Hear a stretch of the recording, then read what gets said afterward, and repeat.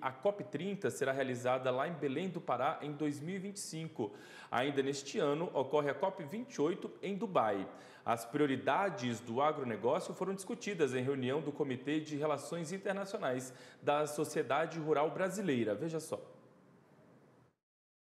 O Brasil está chamando o mundo para vir ao Pará discutir o desmatamento na Amazônia. A afirmação é do secretário de Clima, Energia e Meio Ambiente do Ministério de Relações Exteriores.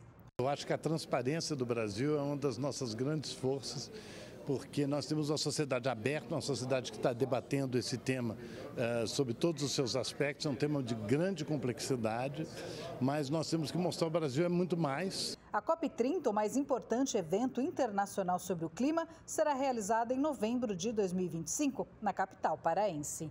Eu acho que é uma iniciativa positiva, acho que vai ter muita repercussão mas nós temos que ter o que dizer lá na COP. Tem que preparar.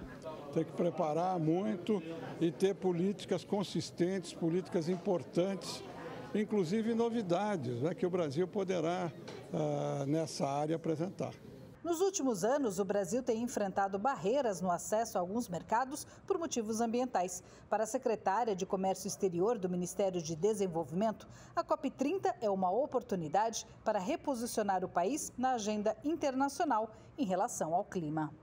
O Brasil lidera o G20 no ano que vem, o grupo das 20 maiores economias do mundo. No ano seguinte, nós temos não apenas a COP, mas a liderança do Brasil nos BRICS. Né? Então, isso tudo ajuda a, a, que o país influencie o debate internacional a respeito de mudanças climáticas e a respeito da relação entre o comércio internacional e o clima. Agora, em novembro, o Brasil participa da COP28 em Dubai. O governo federal quer ouvir quais os temas que devem ser levados para a convenção. O diálogo será com vários setores, entre eles o agronegócio. O Brasil é um país complexo que tem várias realidades, inclusive realidades regionais completamente diferentes.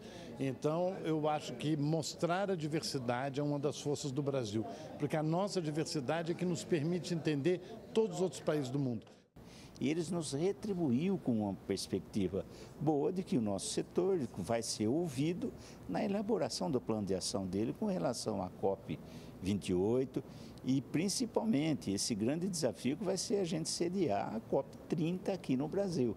Tudo que foi discutido hoje aqui foi discutido de uma forma serena, equilibrada e com um objetivo claro é exatamente esse. Nós, do agronegócio, o, o produtor rural brasileiro, tem que participar com certeza dessas discussões. Né?